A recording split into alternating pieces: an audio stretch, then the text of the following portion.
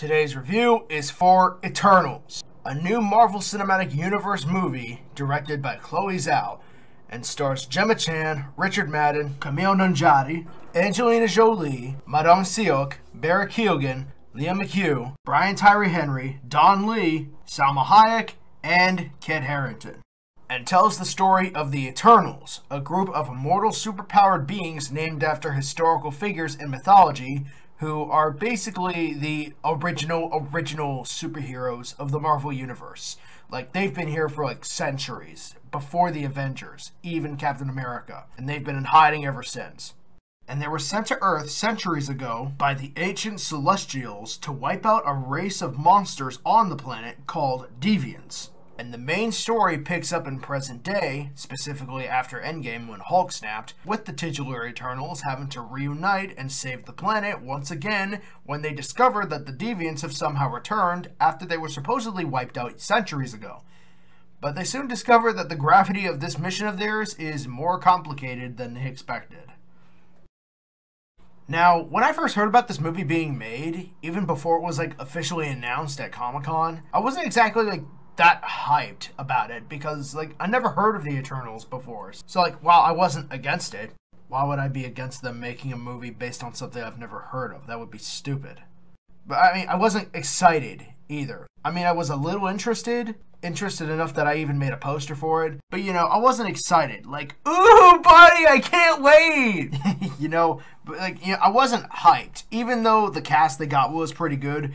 And okay, I guess one pretty exciting thing was that they were to use this film to set up Black Knight for the MCU with Kit Harington as Dane Whitman, which, yeah, fuck it, that's a great casting. But even with all that, before trailers started coming out, I wasn't excited. But I will say, when the trailers started coming out, they got me much more invested because the trailers, they were just amazing. Like what they showed in the trailers from the visuals of the film, the cinematography, and also just the music in the trailers, especially in the final trailer, all of that was incredible. And it definitely got me a little bit more excited into seeing this movie. And now I just got back from seeing the movie, and yeah, I liked it. I mean, would I say it was necessarily as fantastic or remarkable or grand as we all kind of built up in our heads? No. No, not not really. It does have a few issues, but for the most part, I think Eternals is a solid film that introduces some cool new characters for the MCU and also differentiates itself from the other MCU movies in ways that I think benefit the story as it just focuses less on setup and more on just its own story and characters. Characters whom I found myself really liking in the end, like Sersi, played by Gemma Chan, who is kind of the main character of the movie. She has some really cool matter manipulating powers where she can turn dirt into water, stone into ice, an entire bus into rose petals, and she shares a really strong connection to humans. And she was pretty good as a female lead. Like, it was really cool seeing how she becomes an even stronger and greater Eternal than she ever was before, and to see what great lengths she was willing to go in order to save our planet to which she has come to call her home. And I did root for her in the final battle. Gemma Chan did a great job playing her, and I do look forward to seeing her again in the future of the Marvel Universe. I also liked Kingo, played by Kumail Nanjiani. He's the more humorous member of the group, and he's pretty good as a mix of comic relief and badassery at the same time. In some instances, coming off like a Johnny Cage inspired character. Like, the way he uses his powers is pretty cool. Like, he can shoot cosmic energy out of his fingers, and he does it like he's shooting guns at the Deviants, and it's pretty badass and cool. But he also gives off some of the funniest jokes of the movie. For example, the way he's been living among the humans in secret is that he's a Bollywood star and he's acted for generations. And the explanation he's come up with for why he doesn't seem to age, to those who don't know he's an immortal being, is that he's actually the current descendant of a family tree of Bollywood actors. Like he claims that any previous performance of himself in a movie from the 1930s or 1960s is his great grandfather, grandfather, or father like his cover up is that he's part of a generation of Bollywood stars. And it's actually pretty hilarious. But yeah, Kingo's fun. I like him. I also really liked Makkari, played by Lauren Ridloff, the first deaf character in the MCU, who I liked even more than I expected to. As the Eternal with the least amount of character exposition, she's still able to convey Makkari's character and her motivations with just the expressions of her face and the movement of her body in and out of action. And it really is quite a performance. And not only that, but she was also a fucking badass. Like in the final battle, she has this epic fight with one character where she just runs with her speed powers. She's a speedster, by the way. She can run really fast like the Flash. And she keeps punching this villain right into the side of a mountain, and it's just fucking incredible. And it definitely made her one of my new favorite comic book movie speedsters. But my favorite performance in the whole movie was Richard Madden as Ikaris, who, yeah, in the movie is similar in ways to Superman. He can fly, he has great strength, and of course he can shoot lasers out of his eyes. Hell, one character in the movie even mistakes him for Superman. So they kind of knew what they were doing there. But just because he's similar to Superman doesn't mean he isn't also a badass motherfucker. He has this incredibly stoic personality, like whenever you try to make some fun talk with him, like say, hi there to him, and he'll just give you this stare and just go, hello. like, he doesn't care who you are. And on paper, that could be seen as bad acting. But with Ikaris it works because it just shows that he's the least attached to Earth, and it makes him kind of the most strong willed one of the group. But also, yeah, he's a total badass with his Superman like abilities. Any scene where he shoots his laser eyes at a deviant or rips the arms off of a deviant is just so awesome and cool, and it just makes him so dang awesome. Richard Madden does a great job playing him, and it was easily my favorite performance of the movie. But yeah, pretty much all of the Eternals I liked. They have some great chemistry together, and it actually does get pretty sad whenever something bad happens between them. And it really did make them feel like this big family of immortals. And I can't wait to see more of their chemistry between them in the next two installments of this trilogy. Another thing I love about this movie is the cinematography. Like, seriously, this is easily Marvel's most beautifully shot movie yet. Like there are so many shots in this movie in certain scenes that would be perfect as paintings in a museum. Like literally the first shot of the movie is the Eternal ship flying past a sun and it's just amazing. There are also some epic shots whenever a character talks to the Celestial Arishem. Sorry if I pronounced that name wrong. And a lot of these shots are just so cool, as it just shows the scale of Arishem's face and how small the Eternal is in comparison. And it just shows the actual scale of the Celestials. And it actually makes them fucking terrifying. Like seriously, these guys are far, far bigger than you'd expect. There's even a pretty ominous shot of a deviant peeking its head out of a water at a dock at night. We get some really spectacular shots during action sequences. Like, seriously, this film all the way through is just gorgeous. And I have to give serious props to director of photography Ben Davis. He did a fantastic job shooting this. The action, of course, is also spectacular. Any sequence from a fight on an island shore, or a battle in a forest village, or a standoff in a volcano is just fantastic.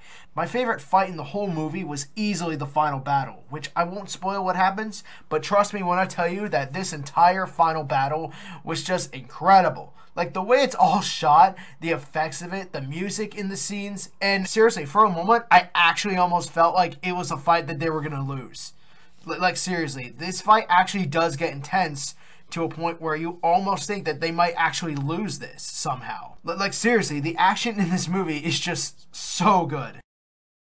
And I especially loved the score for this movie, which of course mostly consisted of Ramin Djawadi's score, and his score for this movie is definitely one of the best Marvel scores I've heard in a while.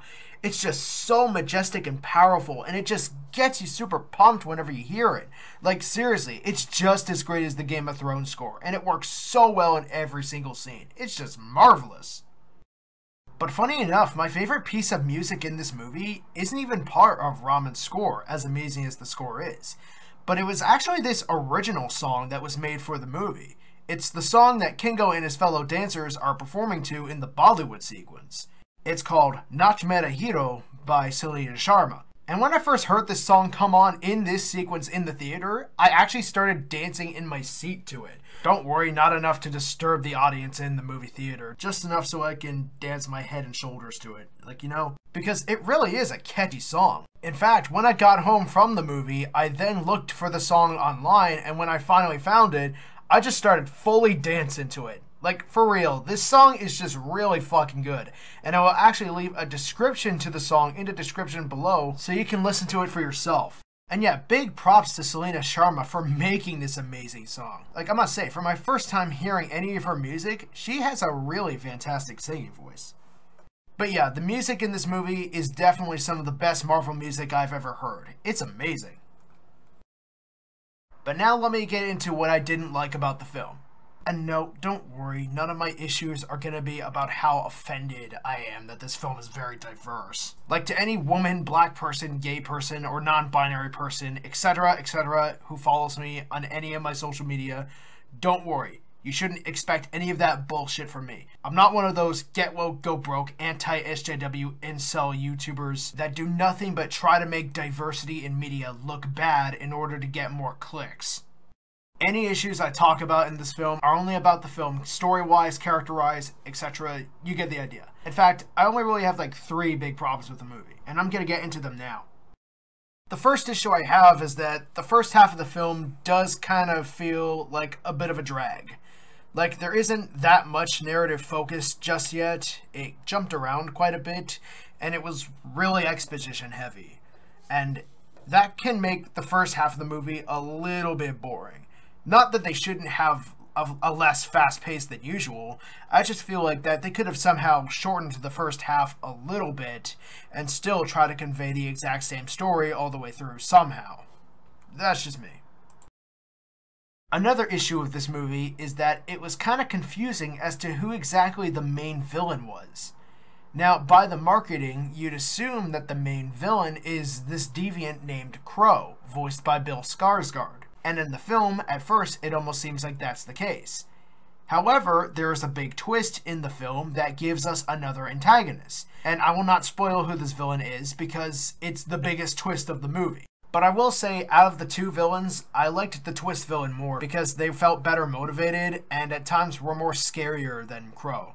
Like Kro, I mean, he's not a terrible villain, he's kind of cool, but he still falls into the category of C level Marvel villains. But the thing is, I was confused as to who out of these two villains was the main villain. Like, was it Kro or was it the twist villain? Like, at first, Kro is established as the leader of this new deviant attack on Earth and seems to have been the biggest threat at first. But then the twist happens, which gives us the other villain, and the final battle actually focuses mostly on stopping this twist villain. And both villains do show up in the final battle, but they're not working together. They're both against each other as well, as well as the other Eternals being against them too. So, like, who was the main centric antagonist? I mean, I guess it was the twist villain because they're the one the Eternals focus on fighting the most in the final battle. But at the same time, Kro was shown to be the biggest threat at first before the twist happened. But at the same time, Kro was shown to be the biggest threat at first before the twist happened. Like, that was just something I thought was incredibly confusing. And finally, there is actually a bit of a romance between Sersi and Ikaris. And look, as much as I like Richard Madden and Gemma Chan's performances as these characters and the characters themselves, I honestly feel like that as a couple in this movie, they had no chemistry. Like, from what I've heard, Richard Madden and Gemma Chan were talking so much in interviews about how easy it was to play a couple because they're friends and they had great platonic chemistry. But I personally didn't feel any romantic tension there, to be honest, because it just it didn't feel real enough to me. The only time I kind of maybe felt that love between them was around the end of the movie in the final battle. But that's pretty much it. Other than that, their relationship was really bland in my opinion. And if you ask me, yes, the romances between Druig and Makkari and Phastos and his husband, played by Haaz Sleiman, were better developed than Sersi and Ikaris' romance. But despite all that, I liked Eternals. It was a beautifully made, well acted, excellently shot, visual spectacle of a movie that I just found myself really enjoying. And I do look forward to seeing what they can do with the sequel, as the ending of this movie does actually set up an interesting storyline for the second film, which I can imagine being just as epic as this was. Again, yeah, it's not flawless. The villain side of things can be really confusing. It takes a while for the first half of the movie to get the actual story going, and the romance between Sersi and Ikaris is really uninteresting. But overall, the film was a good time, and it's definitely better than the critics' Rotten Tomato score makes it out to be. And I do recommend it to you if you're looking for a different kind of superhero movie. Although I guess I would mostly recommend it to those who are looking for another chance to see Jon Snow and Robb Stark together again in something scored by Ramin Djawadi. Just saying. I'm gonna give Eternals a 7 out of 10. And by the way, do you think the way the Celestials were depicted in this movie would be a good way to also portray Galactus in the MCU? I think I already know the answer, but still, let me know in the comments if you agree. Well, I hope you guys enjoyed this review. I'll see you next time, and peace out.